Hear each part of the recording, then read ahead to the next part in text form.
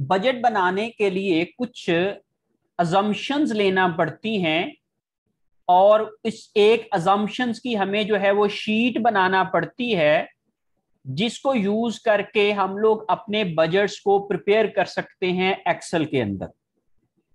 अच्छा जी, वो जो अजम्पन्स हैं, वो कैसे हम लोग अपने क्वेश्चंस में से आइडेंटिफाई करेंगे और उनको हम अपनी शीट में रिकॉर्ड करेंगे ताकि हम लोग उसको यूज़ करके आप पे अपने जो फर्दर बजट्स हैं, उनको प्रिपेयर कर सकें और एक्सेल के अंदर उनको यूज़ कर सकें। उसके लिए मैंने यहाँ पे ये एक रिव्यू प्रॉब्लम है जो बजट स्केजुअल्स के हवाले से। ये मैंने आपके सामने ओपन किया हुआ है। इसको हम लोग यूज़ करके क्या करेंगे? ये मैंने आपके सामने जो है वो अभी शेयर किया है ओपन किया है। जो आपको नज़र आ रहा होगा। हम इसको यूज़ करके हम अपने जो भी अजम्पन्स वाला टेबल है या जो basic data of the questions है, जो कि एक बजट बनाने के लिए हमें रिक्वायर होता है, हम उसको जो है वो प्रिपेयर करने की कोशिश करेंगे। मैं आप लोगों के साथ जो है वो एक एक पॉइंट को डिस्कस करता जाऊँगा और उसको जो है वो एक्सेल की शीट के अंदर जो है वो एंटर करता जाऊँगा और उससे आपकी जो बेसिक अजम्पन की या आपकी बेसिक डेटा की जो शीट है, वो प्रिपेयर होती जाएगी। सबसे पहले जो है, वो हमें ये देखना है कि आप देखें जरा गौर से कि एक पॉइंट है ए जो उसमें उन्होंने कहा जी कि ये क्वेश्चन है minor corporation manufacturers and sales seasonal product that has peak sales in third quarter third quarter में उनकी पीक सेल्स होती हैं। और ईयर टू के चार क्वार्टर्स की और ईयर थ्री के भी आगे दो क्वार्टर्स का डेटा उन्होंने दिया हुआ है हमें। अब हम लोग ये वाला डेटा बेसिकली हमें बजट तो करना है ईयर टू का, लेकिन ईयर थ्री के दो क्वार्टर्स का डेटा हमें इसलिए चाहिए कि कुछ कैलकुलेशंस हमने जो प्रोडक्शन के अंदर और रॉ मटेरियल की रिक्वायरमेंट को असेस करने के लिए चाहिए हूँ वो हमें इसके लिए ज़रूरी होती है तो इसलिए हम लोग जो है वो ये वाला डाटा भी वहाँ पे शो करते हैं। ओके अब इसको समझने के लिए हम क्या करते हैं कि सबसे पहले ये देखते हैं कि ये वाला जो डेटा है, हम इसको क्या करेंगे, अपनी एक्सेल शीट के अंदर एंटर करते जाएँगे। मैं आप जरा इसका जो अगर पहले पॉइंट को देखेंगे तो उन्होंने हर एक क्वार्टर की सेल्स दी हुई है। चालीस हज़ार, साठ हज़ार, एक लाख, पचास हज़ार, सत्तर हज़ार और अस्सी हज़ार। तो हम लोग और उसकी जो सेलिंग प्राइस है, वो हमें दी हुई है एट पर यूनिट अब हम लोग अपनी एक्सेल शीट को ओपन करते हैं और हम लोग देखते हैं कि उसमें हम बेसिक डाटा का ये वाला जो कॉलम है, या ये वाली जो शीट है, उसको कैसे प्रिपेयर करेंगे। तो सबसे पहले हम लोगों ने ऊपर क्वार्टर्स उसी तरीके से जो है वो कर लिए फॉर्मेट कर लिया और one two three and four और इसी तरीके से नेक्स्ट ईयर क्वार्टर वन और नेक्स्ट ईयर क्वार्टर टू कर लिया। सबसे पहले हमने बजटेड यूनिट्स की जो हमें इंफॉर्मेशन थी, वो हम लोग यहाँ पे एंटर करेंगे। हमें जो बजटेड यूनिट की इंफॉर्मेशन गिवन है, वो है जी बेसिकली चालीस हज़ार, साठ हज़ार, एक लाख, पचास हज़ार, सत्तर हज़ार। सबसे पहले क्वार्टर में है जी चालीस हज़ार। ओके फिर उसके बाद है जी साठ हज़ार। फिर है जी उसके बाद एक लाख। फिर है जी उसके बाद सत, अस्सी हज़ार। सॉरी पचास हज़ार। फिर नेक्स्ट है जी पचास हज़ार। नेक्स्ट क्वार्टर फोर में पचास हज़ार।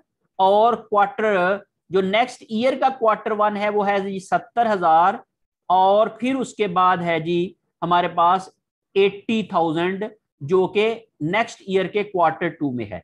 So that information was provided in our question और प्रैक्टिकली अगर आप देखेंगे तो आपको प्रीवियस जो आपके रिकॉर्ड्स होंगे उसके, उससे मिल जाएँगी और उसको आप क्या कर सकते हो प्रोजेक्ट कर सकते हो टेन परसेंट फाइव परसेंट या वही वाली अमाउंट को आप रिपीट कर सकते हो, उसको इंक्रीमेंटल बजटिंग कहते हैं। तो हमने सबसे पहले जो है वो हमने ये देखना होता है कि हम अगले साल कितने यूनिट सेल करेंगे, उसको हम अपने बेसिक अजम्पन वाली जो शीट होती है उसके अंदर डाल देंगे। फिर हमारे पास सेलिंग प्राइस आ जाती है तो हमारे क्वेश्चन के मुताबिक eight is the selling price वो आठ है। अब इसके साथ आपने जरा गौर किया होगा कि इसके साथ कॉमा आ गया है और इसके साथ जो है वो एट का डॉलर साइन आ गया है। अब आप अगर यहाँ पे देखें तो मैं यहाँ पे अगर मैं लिखता हूँ टेन थाउज़ेंड या फोर्टी थाउज़ेंड तो आप देखें जी सिंपल टेन थाउज़ेंड लिखा है, ना इसके साथ कॉमा आया है, ना इसके साथ डॉलर साइन आया है। इस काम को करने के लिए इनको फॉर्मेटिंग कहते हैं। फॉर्मेट करने के लिए आप क्या करोगे? ये ऊपर आपके सामने निशान बने हुए हैं।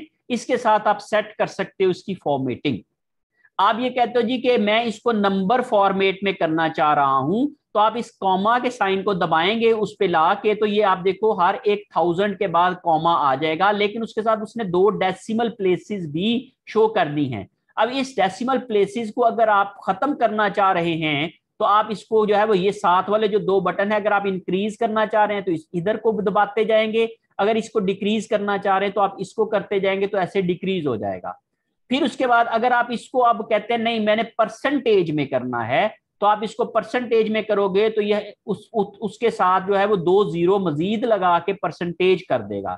लेकिन अगर आप कहते हैं इसको मैंने डॉलर में करना है तो आपके साथ वो क्या कर देगा? डॉलर में करेंसी साइन के साथ इसको जो है वो मेंशन कर देगा और आप इसके डेसिमल को अगर मैनेज करते हैं तो वो होल नंबर में आ जाएगा। तो इस तरीके से आप उसको नंबर फॉर्मेट को क्या कर सकते हो? डॉलर में करेंसी में या सिंपल नंबर में या परसेंटेज में चेंज कर सकते हो बाय यूजिंग दीज मेन्यूज ठीक है जी? फिर इसके बाद अब हम देखते हैं कि अगला वाला जो पॉइंट है हमारा, वो क्या है? नेक्स्ट हमारे क्वेश्चन के अंदर। क्वेश्चन में हमारे पास जो सेकंड बी है वो ये कहता है जी कि sales are collected in following pattern तो ये हमारी अब कलेक्शन पॉलिसी है। ये कलेक्शन पॉलिसी भी अज्यूम्ड है on the basis of our previous experiences और फ्यूचर प्रोडिक्शंस तो हमने कहा जी पिछहत्तर फ़ीसद उसी क्वार्टर में मिल जाएँगी और 25 फ़ीसद आगे जो है वो रिमेनिंग जो है वो 25 फ़ीसद नेक्स्ट क्वार्टर में मिलेंगी। तो अब हम इन इन दोनों फैक्ट्स को पहले हम डालते हैं अपनी शीट के अंदर। तो हम देखे आप लोग तो यहाँ पे हमने ये कहा कि इनमें से जो उसी क्वार्टर में मिलेंगी दैट आर 75 परसेंट और जो नेक्स्ट में मिलेंगी दैट आर 25 परसेंट ये मैंने दो फैक्ट भी इस अपनी बेसिक डाटा की या बजट अजम्पशंस की शीट में डाल दिया। फिर उसके बाद मैंने नेक्स्ट पॉइंट देखा नेक्स्ट इंफॉर्मेशन क्या है? तो हमने कहा on January one year two year two के जनवरी वन के ऊपर companies balance sheet showed.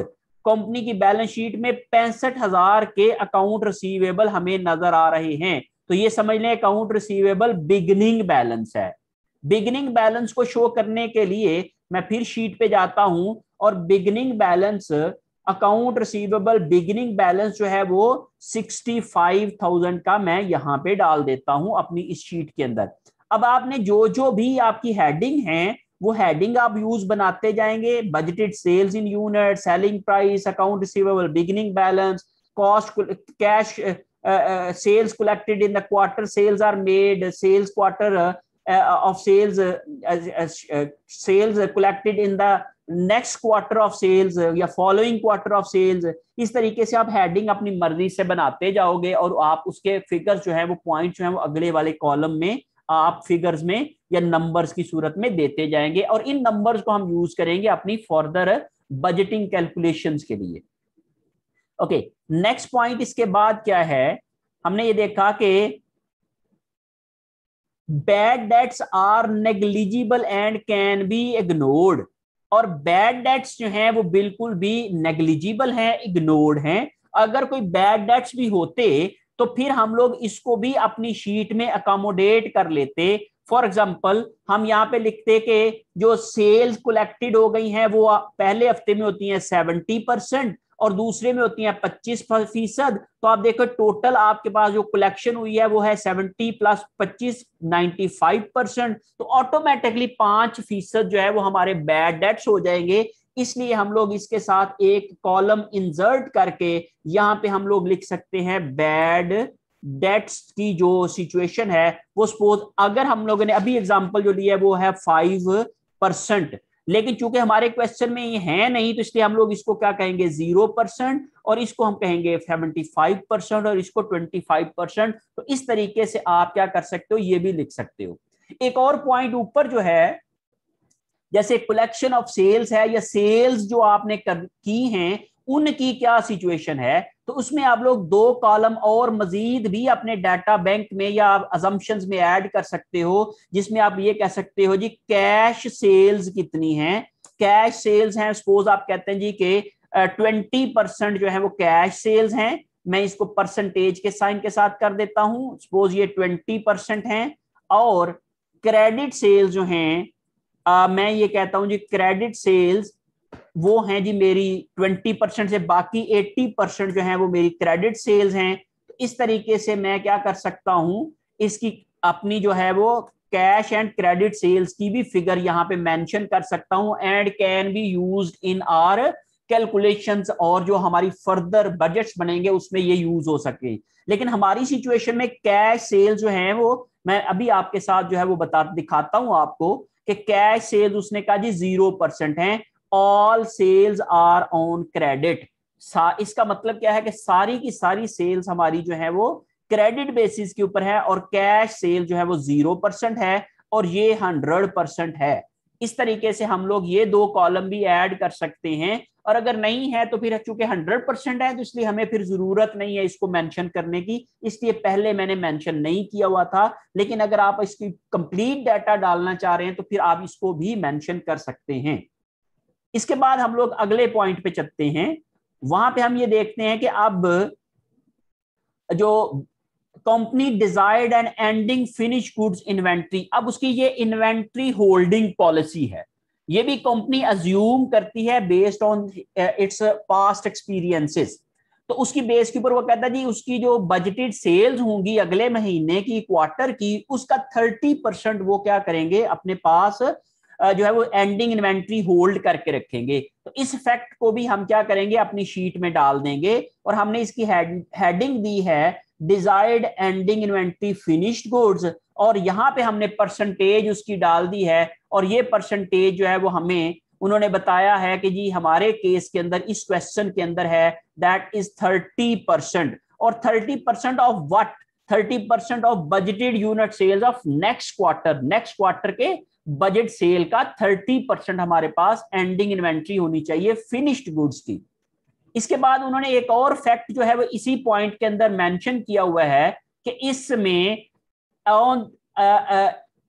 Second point जो कि इसी में मेंशन हुआ हुआ है, वो ये है कि जब आपने December 31 year one year one चूँकि अब हम वर्किंग कर रहे हैं ईयर टू की ईयर वन जब खत्म हुआ था 31 दिसंबर को तो उस वक्त हमारे पास इन्वेंट्री 12000 यूनिट्स पड़ी हुई थी। अब ये जो है, ये एंडिंग इन्वेंट्री थी पिछले साल की, जो कि बन जाएगी इस साल के फ़र्स्ट क्वार्टर की ओपनिंग इन्वेंट्री या इस साल की ओपनिंग इन्वेंट्री क्योंकि जो फ़र्स्ट क्वार्टर की ओपनिंग होगी, वही साल की भी ओपनिंग होगी। इसलिए हम लोग यहाँ पे लिखेंगे कि ओपनिंग इन्वेंट्री, फिनिश्ड गुड जो होगी, वो क्या होगी? क्वार्टर टू के अंदर ईयर टू के क्वार्टर वन में या ईयर टू के स्टार्ट पे वो होगी ट्वेल्व थाउज़ेंड की। तो ये फैक्ट भी हम अपनी शीट के अंदर जो है वो अकोमोडेट कर लेंगे। अब इसमें फिनिश्ड गुड्स बिगिनिंग इन्वेंट्री जो है, वो हमने ये कहा कि ये ट्वेल्व थाउज़ेंड यूनिट्स हैं, ये भी मैंने इस फैक्ट को यहाँ पे मेंशन कर दिया। अब उसके बाद अगला पॉइंट जो है, वो हम देख लेते हैं कि उसके हवाले से क्या है। Next point is five pound of material are required to complete one unit of product अब ये बेसिकली क्या है? रॉ मटेरियल कंजम्पशन जो है, वो एस्टिमेट है। कि हम एक प्रोडक्ट बनाने में कितना मटेरियल कंज्यूम करते हैं, ये हमें क्वेश्चन से मिल जाएगा या फिर हमारे जो भी डेटा होगा, हमारी कंपनी का, वहाँ से हमें जो स्टैंडर्ड्स हमने बनाए हुए होंगे, वहाँ से मिलेगा। तो इसको भी हम लोग जो है वो अपनी शीट के अंदर यहाँ पे लिख देते हैं। तो यहाँ पे हमने ये लिखा कि raw material required to produce one unit तो दैट इज़ फाइव पाउंड हमने कहा जी, पाँच पाउंड लगते हैं एक यूनिट को बनाने के लिए मटेरियल कंज्यूम होता है। फिर इसके साथ the company requires ending raw material inventory at the end of each quarter ten percent of the following quarter production need अगले क्वार्टर की प्रोडक्शन नीड का 10 परसेंट जो है वो उनको रॉ मटेरियल एंडिंग इन्वेंट्री चाहिए। तो ये भी हमें एक अजम्पन या एक एस्टिमेट जो है वो लिखना पड़ेगा हमारी बजट की कैलकुलेशन के लिए। तो ये भी हम फैक्ट जो है वो अपनी शीट के अंदर डाल देते हैं और इसको हमने कहा desired ending inventory of raw material is ten percent of next quarter production need तो चूँकि ये टेन परसेंट है तो इसलिए मैं इसको चेंज नहीं कर रहा, या मैं इसमें टेन परसेंट इसमें डाल दूँगा। आप इसके, चूँकि आपके पास, मेरे पास तो ऑलरेडी फिगर्स लिखी हुई हैं तो इसलिए मैं इसको जो है वो यहाँ पे उसी तरीके से कर रहा हूँ। अदरवाइज़ जो है वो आप यहाँ पे क्या करेंगे मेंशन करते जाएँगे, या मैं इससे मैंने इसको डिलीट कर दिया, अब मैं आप लोगों को जो है वो, या आप हेडिंग देंगे, और आगे आप उसकी जो है वो, उसी तरीके से अमाउंट लिख देंगे, जो भी आपका जो है वो फैक्टर बन रहा है। नेक्स्ट पॉइंट हम देखते हैं। नेक्स्ट पॉइंट क्या है जी? कि हमारे पास जब ईयर वन खत्म हुआ था, जैसे फिनिश्ड गुड्स की पिछले साल के एंड के ऊपर जो इन्वेंट्री थी, वो 12000 यूनिट्स थी, ऐसे ही हमारे गोदाम में जब ईयर वन खत्म हुआ तो तेईस हज़ार पाउंड मटीरियल पड़ा हुआ था। अब ये पिछले साल की एंडिंग इन्वेंट्री इस साल की ओपनिंग बनेगी तो इसको हम लोग अपनी कैलकुलेशन में ओपनिंग इन्वेंट्री के तौर पे लिखेंगे। ये फिगर भी हमारे रिक्वायर होती है ताकि हम लोग अपनी बजट कर सकें। तो रॉ मटेरियल इन्वेंट्री बिगनिंग जो है, वो हमने ये कहा जी कि ट्वेंटी थ्री थाउज़ेंड पाउंड जो है, वो हमें बिगनिंग इन्वेंट्री मिली है पिछले साल से। तो ये भी हमने अपनी जो बेसिक डाटा की शीट थी या बजट अजम्पन्स की शीट थी, उसमें डाल दिया। फिर उसके बाद हमने ये कहा कि अब हमारे पास रॉ मटेरियल कॉस्ट कितनी आ रही है? तो ये फैक्ट भी हमें जो है, वो हमारी जो क्वेश्चन है, वो हमें दे देगा कि raw material cost at per pound हम रॉ मटेरियल जो खरीदते हैं, वो हमें कितने का मिलता है? पॉइंट एट पर पाउंड हमें रॉ मटेरियल मिलता है। और उसकी पेमेंट पॉलिसी क्या है? जो हम खरीदेंगे within the quarter sixty percent payment कर देंगे। और नेक्स्ट क्वार्टर में फोर्टी परसेंट पेमेंट कर देंगे तो ये हमारी पेमेंट पॉलिसी है। हमारा मटेरियल कितने का आ रहा है पर पाउंड ये दिया हुआ है और पेमेंट पॉलिसी क्या है? इन दोनों फैक्ट्स को भी हम अपनी शीट के अंदर जो है वो उसी तरीके से लिख लेते हैं। तो हमने कहा कि रॉ मटेरियल कॉस्ट कितनी है? ये है जी point eight dollar per pound है। ये डॉलर साइन ऑटोमेटिकली इसलिए आ रहा है कि मैंने इसका फॉर्मेट चेंज किया हुआ है, उसी तरीके से किया हुआ है।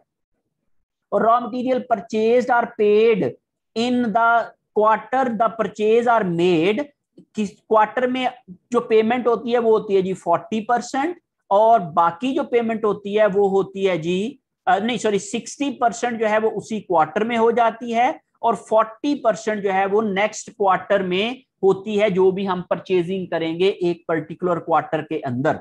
जो भी हम परचेज करेंगे, उसी क्वार्टर में 60 परसेंट पे कर देंगे और 40 परसेंट हम लोग अगले क्वार्टर में जाके पेमेंट करेंगे। तो इस तरीके से हमारे पास ये एक पेमेंट पॉलिसी बन जाएगी और इसी से ही हमारी जो है वो अकाउंट पे एबल की एंडिंग फिगर जो है वो हमें नज़र आएगी।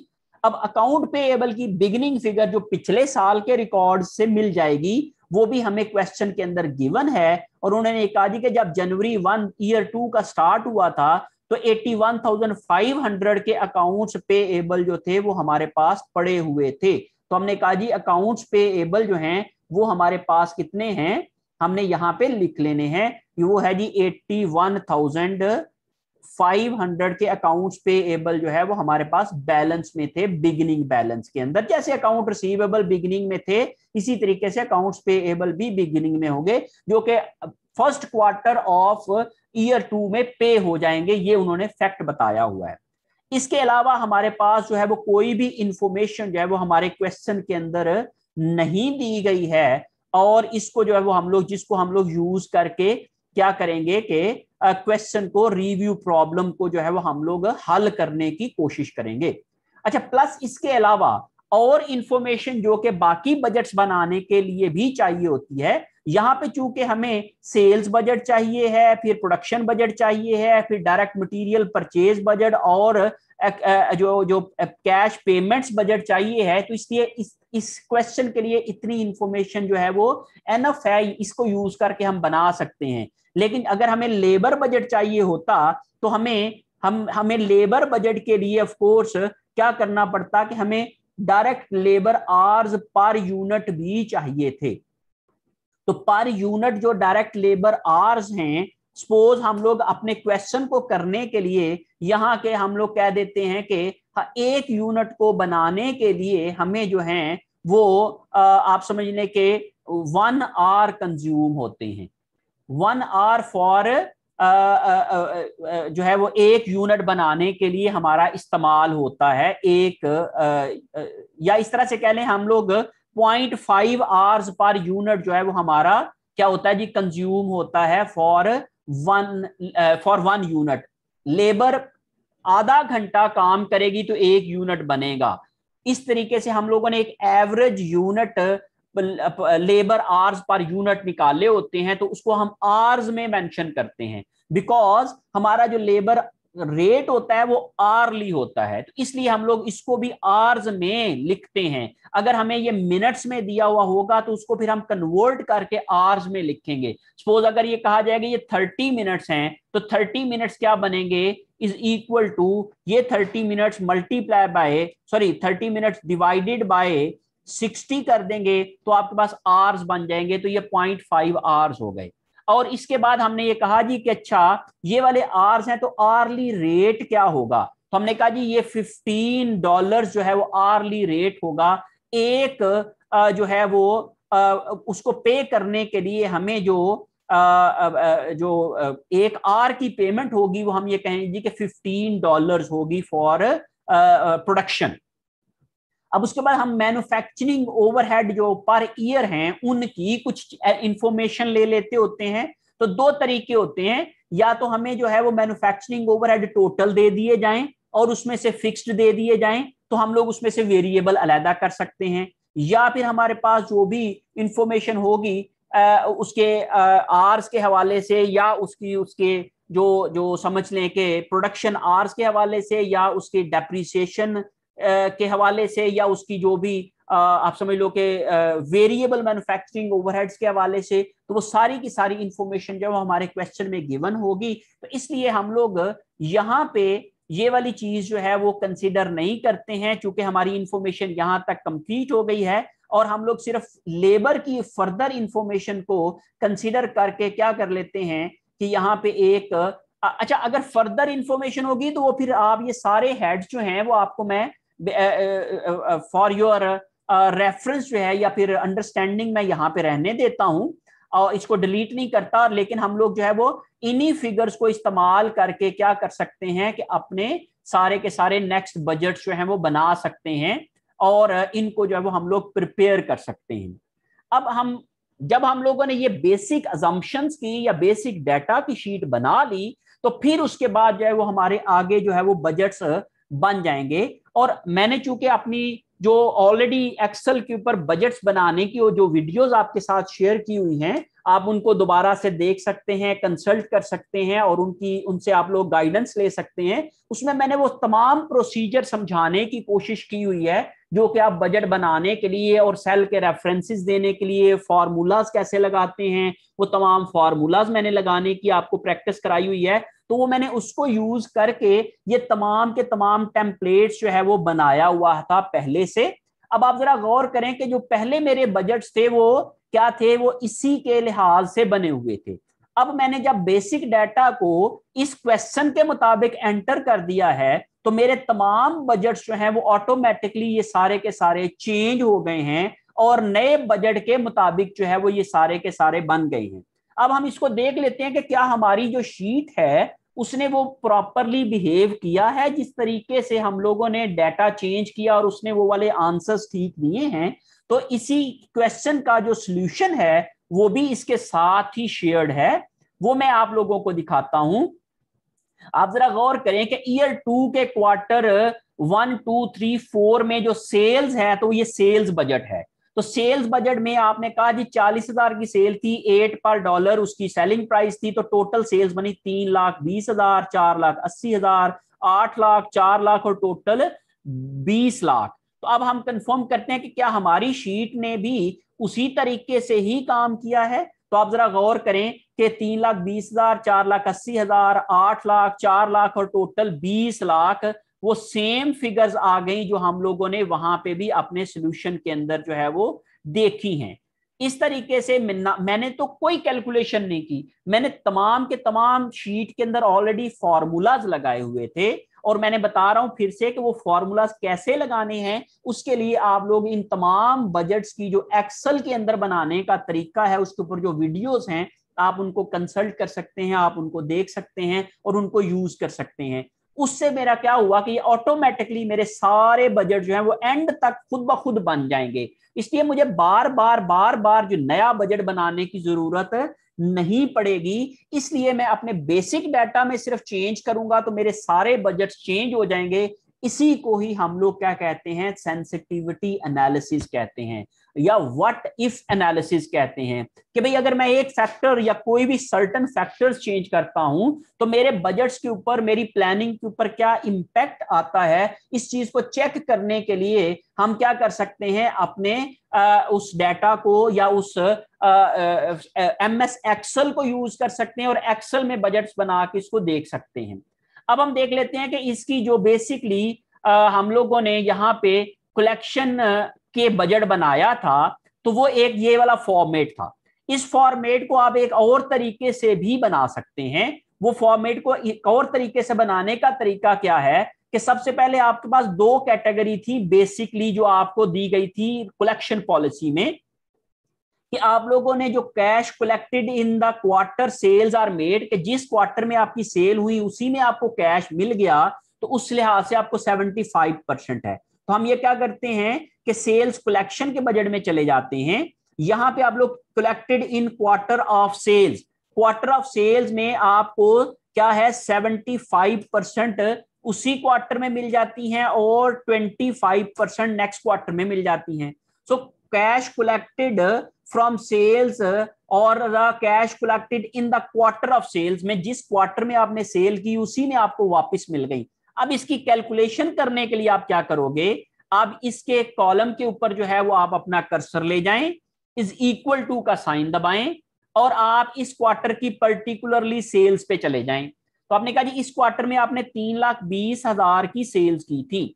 इसका आपको सेवेंटी फाइव परसेंट जो है वो क्या मिलेगा इसी क्वार्टर में। लेकिन हमने सेवेंटी फाइव परसेंट खुद से नहीं लिखना। जैसे multiply by point seven five में कर दूँ तो कैलकुलेशन तो हो जाएगी, लेकिन हमने इस तरीके से नहीं करना।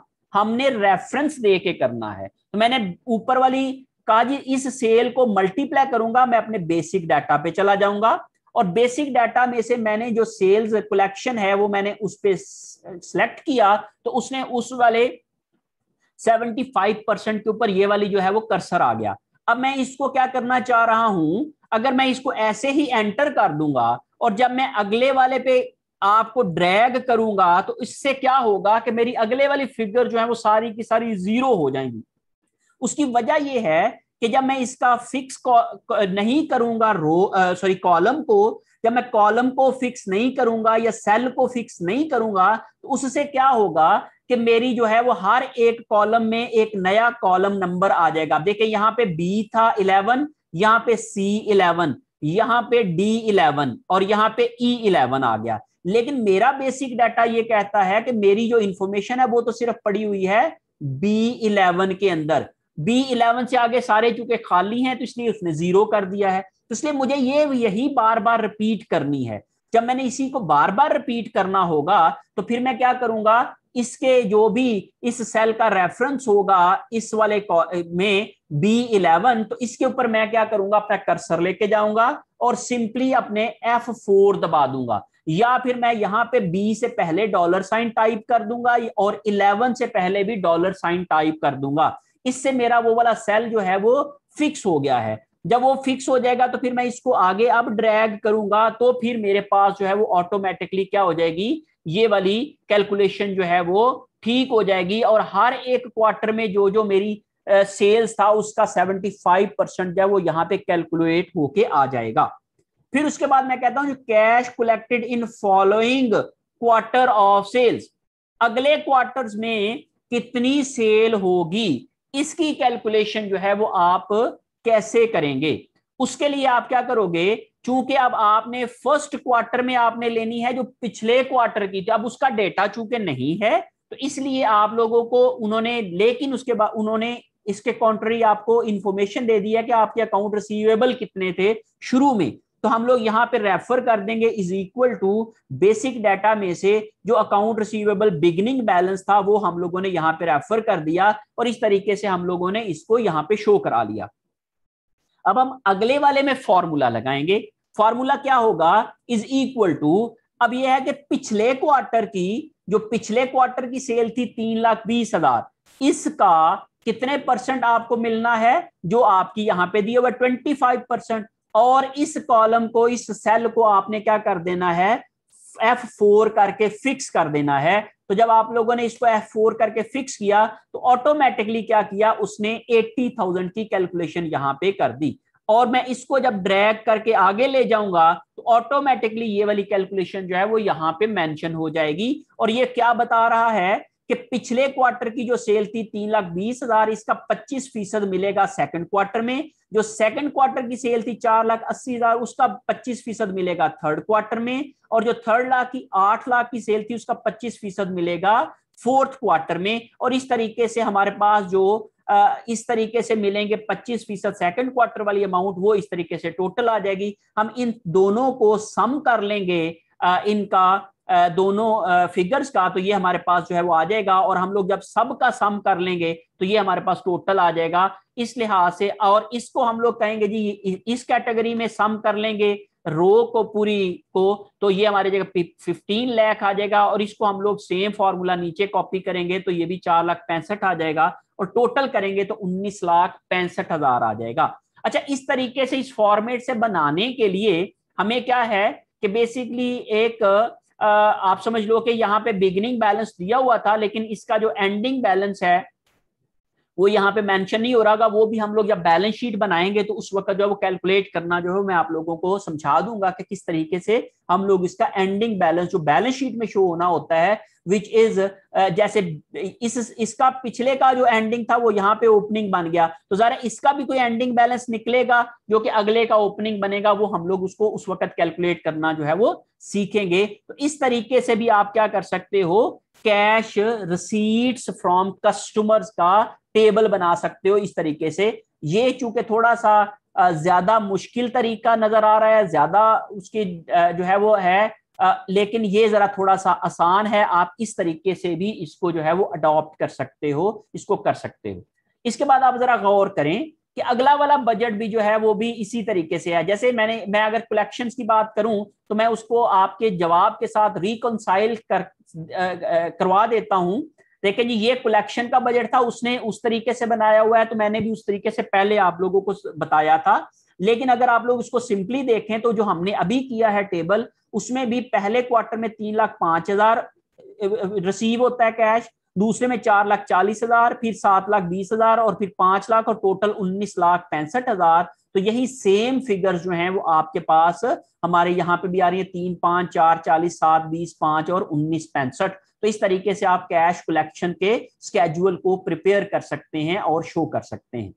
अब इसके बाद आ जाता है जी मटीरियल उसके बाद है प्रोडक्शन बजट अब आप जरा गौर करें प्रोडक्शन पहले पहले क्वार्टर में हमारी प्रोडक्शन थी छियालीस हज़ार, फिर बहत्तर, पिचासी, छप्पन और टोटल है दो लाख उनसठ हज़ार और नेक्स्ट क्वार्टर के भी हमने जो है नेक्स्ट ईयर के क्वार्टर वन की भी हम लोगों ने यहाँ पे प्रोडक्शन कैलकुलेट किया because we need this figure in our raw material purchase budget that's why हमने इसको भी यहाँ पे कैलकुलेट किया है। इसलिए इसको भी यहाँ पे और इसको कैलकुलेट करने के लिए हमें अगले क्वार्टर की सेल्स की भी फिगर चाहिए। तो इसलिए हमें दो क्वार्टर की आगे वाले की भी सेल्स की फिगर चाहिए होती है इस चीज़ को कैलकुलेट करने के लिए। ओके अब आप जरा इसको रिकॉन्साइल करते हैं तो आप जरा देखें आप सेम फिगर जो है वो यहाँ पे भी आ रही हैं। आप अगर प्रोडक्शन बजट को देखें छियालीस हज़ार, बहत्तर हज़ार, पिचासी हज़ार, छप्पन हज़ार, दो उनसठ और तिहत्तर हज़ार इसकी क्वार्टर वन की है तो इस तरीके से आप क्या करोगे? ये प्रोडक्शन बजट भी बना सकते हो। और ये वो वो ऑटोमेटिकली हमारी शीट ने उसको जो है वो बना दिया है। और उसके बाद जो है वो वो रॉ मटेरियल परचेज बजट आ जाएगा तो ये बेसिकली उसका फॉर्मेट है। इसको मैंने डिटेल में एक्सप्लेन किया हुआ है अपनी रॉ मटेरियल परचेज बजट की जो वीडियो है, उसके अंदर आप उसको जो है वो कंसल्ट कर सकते हैं, देख सकते हैं और उसको जो है, इसको जो है वो समझ सकते हैं कि ये किस तरीके से हुआ हुआ है। अब आप ये देखेंगे हमने ये कहा कि पहले क्वार्टर में आपको दो लाख तैंतालीस हज़ार पाउंड मटीरियल खरीदना पड़ेगा। यूनिट्स ऑफ़ मटीरियल की बात हो रही है। ये तीन छियासठ पाँच सौ, चार दस पाँच सौ, दो अठासी पाँच सौ और तेरह लाख आठ हज़ार पाँच सौ। यही सेम फिगर जो है वो हमारी शीट ने भी हमें प्रोवाइड की हैं। आप जरा अगर देखें, दो तैंतालीस, तीन छियासठ, पाँच सौ, चार दस, पाँच सौ, दो अठासी, पाँच सौ, तेरह, आठ, पाँच सौ। तो इस तरीके से आपके पास जो है, ये नंबर ऑफ़ पाउंड्स आ गए जो कि आप लोगों ने मटेरियल खरीदना पड़ेगा। और ये पॉइंट एट पर जो है वो पाउंड उसकी कॉस्ट है, जो हमने बेसिक डाटा में दी हुई थी, वो हम लोगों ने यहाँ पे यूज़ की है। और उसको जब हमने मल्टीप्लाई किया तो ये हमारे पास जो है वो क्या आ जाएगा? उसका रॉ मटेरियल परचेज बजट आ जाएगा। मीन हम इतनी cost of raw material purchase आ जाएगा या परचेजेस की कॉस्ट आ जाएगी जो हमने मटेरियल खरीदा तो वो भी हमारे साथ जो है, वो हमारी जो भी क्वेश्चन था, उसके जो आंसर है, उसके साथ जो है, वो मैच करता है। एक चौरानवे चार सौ, दो तिरानवे दो सौ three three eight twenty eight thousand four hundred two lakh thirty thousand eight hundred and ten lakh forty six thousand eight hundred की फिगर है। अब इसके बाद आ जाती है बात कि हम लोग पेमेंट्स फॉर परचेजेज की पॉलिसी लगाते हैं। तो ये वाला तो मैंने टेबल बनाया बिल्कुल उसी तरीके से जैसे हम लोगों ने आ, बुक में हुआ हुआ है। तो ये भी बिल्कुल उसी तरीके तो ये भी आप देखें कि उसने ऑटोमेटिकली बना दिया है। लेकिन अगर हम लोग इसको दूसरे तरीके से बनाते हैं तो हम कहेंगे जी payments in same quarter of purchase कि जिस क्वार्टर में मटेरियल हमने परचेज किया और उसी क्वार्टर में हमने इसकी पेमेंट की तो हमने कहा जी ये 60 परसेंट अमाउंट जो है वो हम उसी में पे कर देते हैं तो ये भी बिल्कुल उसी तरीके से अगर आप कैलकुलेट करते हैं तो इज़ इक्वल टू तो हमने कहा इस क्वार्टर में आपने मटेरियल जो परचेज किया उसकी कॉस्ट आई एक लाख चौरानवे हज़ार चार सौ one lakh ninety four thousand four hundred इसको आप मल्टीप्लाई करोगे किसके साथ? अपनी पेमेंट पॉलिसी की फिगर के साथ। तो वो आपकी बेसिक डाटा में है। तो हमने कहा जी, आपकी बेसिक डाटा में 60 परसेंट जो in the quarter of purchase आप पेमेंट्स करते हो। Payments in the quarter of purchases ये 60 परसेंट है। तो अब आपने चूँकि इसको हार्ड कोर करना है मीन इसको आपने फिक्स करना है तो एफ़ फोर दबा देंगे तो ये फिक्स हो जाएगा। तो इस लिहाज से आप देखें जी कि ग्यारह लाख सॉरी एक लाख सोलह हज़ार छह सौ चालीस और जब आप इसको पूरा ड्रैग करेंगे तो ये टोटल आ जाएगा और इसका जब आप लोग सम करेंगे तो ये टोटल आपके पास छह लाख अट्ठाईस हज़ार अस्सी जो है वो इधर आ जाएगा। फिर उसके बाद आप क्या करते हो? In following following quarter of purchase आपने फॉलोइंग क्वार्टर ऑफ़ परचेज में अगर पेमेंट करना है तो इज़ इक्वल टू अब देखें इसकी जो इसमें परचेजेस क्वार्टर वन में होंगी, वो सेकंड क्वार्टर में मिलेंगी। तो आप क्या हो गए? इज़ इक्वल टू इस क्वार्टर में आपने one lakh ninety four thousand four hundred का मटीरियल खरीदा था मल्टीप्लाई बाय इसको आप लोगों ने कहा जी सेकंड क्वार्टर में आपकी पेमेंट पॉलिसी है फोर्टी परसेंट और इसको भी उसी तरीके से आपने क्या कर दिया, जो है वो एफ़ फोर दबा के फिक्स कर दिया तो ये आपने यहाँ पे कर लिया। और इसको अब जब आप ड्रैग करोगे अगले वाले दो कॉलम्स में तो ये आ जाएगा, और जब आप लोग पहले कॉलम में आप क्या लिखोगे? तो ये आपको फिगर जो है वो ऑलरेडी प्रोवाइडेड है आपके क्वेश्चन के अंदर कि आपने यहाँ पे क्या मेंशन करना है।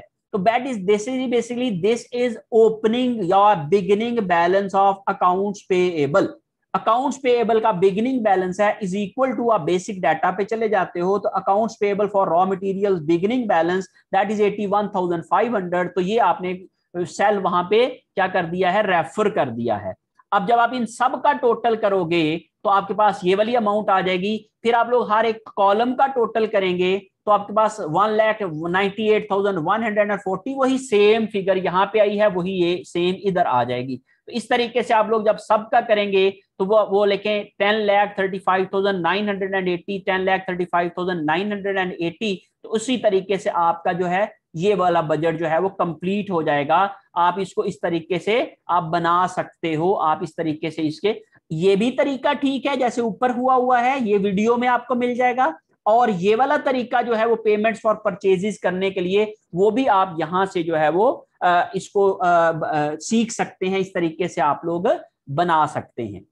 अब इसके बाद अगला वाला जो बजट था, वो था लेबर बजट अब चूँकि हमारे सवाल में लेबर बजट की रिक्वायरमेंट थी ही नहीं तो इसलिए हम लोगों ने उसको अपने पास से ऐड की थी वो वाली फिगर्स लेकिन हम यहाँ पे मेंशन कर देते हैं कि हमारे पास लेबर बजट की शक्ल क्या होगी और हम लोग इसको किस तरीके से बनाते हैं। तो हमने कहा लेबर बजट के लिए हमें प्रोडक्शन का डाटा चाहिए, हमें कितने यूनिट प्रोड्यूस करने थे, वो हमें प्रोडक्शन बजट से मिल जाएगा। हमने पर लेबर आर हमारे कितने थे, वो हमारा बेसिक डाटा से आ जाएगा। हमने इन दोनों को मल्टीप्लाई किया और आरली रेट से मल्टीप्लाई किया तो हमारे पास लेबर कॉस्ट आ जाएगी। तो इस तरीके से हम लोग जो है वो आर्स में और फिर उसके बाद जो है वो डॉलर्स अमाउंट में लेबर कॉस्ट का बजट भी बना लेते हैं। तो इस तरीके से हमारा ऑटोमेटिकली लेबर कॉस्ट का भी बजट बन गया और ऐसे ही मैन्युफैक्चरिंग ओवरहेड के भी। अब चूँकि मैंने वो सारा डाटा ज़ीरो ज़ीरो कर दिया था, इसलिए ये सारे के सारे ज़ीरो हो गए। जब वहाँ पे डाटा फ़ीड होगा तो ये भी ऑटोमेटिकली बन जाएँगे। और इसी तरीके से फिनिश गुड्स इन्वेंट्री का बजट भी है, ये भी ऑटोमेटिकली बन गया हुआ है। सेलिंग एंड एडमन एक्सपेंसिस के बजट भी ऑटोमेटिकली बन जाएँगे।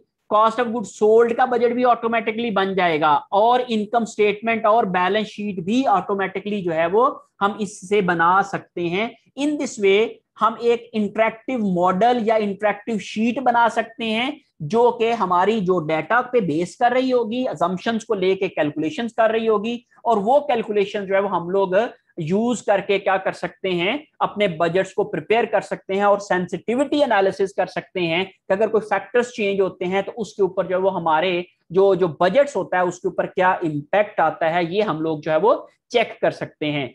होप्स हो कि आप लोग जो है इन तमाम चीज़ों को के बेसिक अजम्पन्स को हम कैसे आइडेंटिफाई करते हैं, उसको हम लोग बेसिक शीट में कैसे लिखते हैं और फिर उसको हम लोग आगे यूज़ करके किस तरीके से बजट्स बनाते हैं और डिफरेंट स्केजुअल्स हम कैसे बनाते हैं। तो मेरी, जो डिफरेंट वीडियोस मैंने शेयर की हुई हैं आप लोगों के साथ use of Excel in budgeting के ऊपर, वो आप लोग जो है वो डिफरेंट बजट्स की वो देख सकते हैं और इसके ऊपर जो है वो आप लोग जो है वो वर्किंग कर सकते हैं और एक अपनी इंटरेक्टिव बजटिंग मॉडल बना सकते हैं, जो कि सेंसिटिविटी एनालिसिस में आपके जो है वो इस्तेमाल हो सकता है।